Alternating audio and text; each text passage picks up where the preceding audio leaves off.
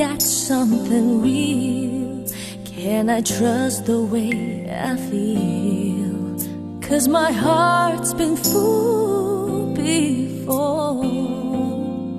Am I just seeing what I want to see?